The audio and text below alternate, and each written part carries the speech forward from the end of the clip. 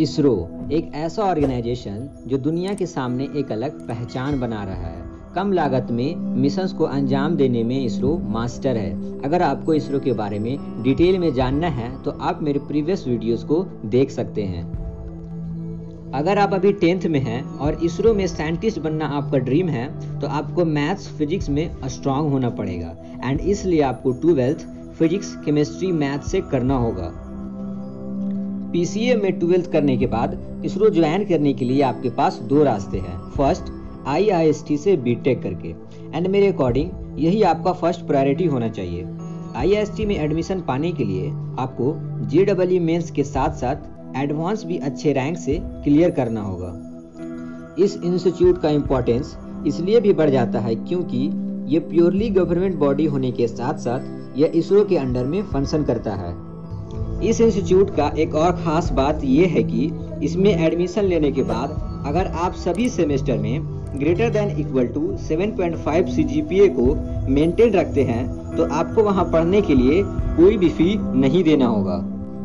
एक और बात आप ज़रूर याद रखें कि अगर आपको इसरो ज्वाइन करना है, तभी इस इंस्टीट्यूट में एडमिशन लें, क्योंकि अगर इसरो इस इंस्टीट्यूट से आपको हायर करता है तो मिनिमम थ्री ईयर आपको इसरो में काम करना पड़ेगा। और यही चीज़ उन लोगों के लिए बेनिफिशियल हो जाता है जो इसरो को ज्वाइन करना चाहते हैं, क्योंकि यहीं से आपका इसरो में डायरेक्ट जॉब लग सकता है।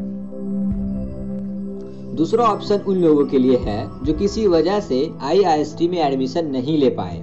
और दूसरा ऑप्शन ये है कि आपको कोई अच्छे कॉलेज से बीटेक करना होगा। और बीटेक भी या तो मैकेनिकल में या इलेक्ट्रॉनिक्स में या फिर कंप्यूटर साइंस लेकर ही करना होगा। बीटेक करने के बाद आपको इसरो द्वारा कंडक्ट किए जाने वाला इंट्रेंस एग्ज़ाम आई को क्लियर करना होगा. And after that you have to go for interview salary depend करता है आपके ग्रेड और एक्सपीरियंस पे. हालाँकि इसरो के टॉप लेवल के साइंटिस्ट का भी सैलरी प्राइवेट जॉब से कंपेयर करे तो बहुत कम है.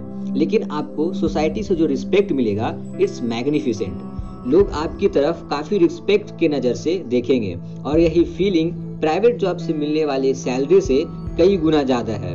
इसरो के साइंटिस्ट का मिनिमम सैलरी 55,000 पर मंथ से स्टार्ट होता है और वहीं सीनियर और एक्सपीरियंस लेवल के साइंटिस्ट का सैलरी एक लाख से डेढ़ लाख पर मंथ के बीच में है। दोस्तों मेरा एक सजेशन है कि आप खुद तो हार्ड वर्क करें ही लेकिन कोई सीनियर के गाइडेंस में ज़रूर रहे ताकि आगे चलकर आप कोई गलत डिसीज़न ना ले।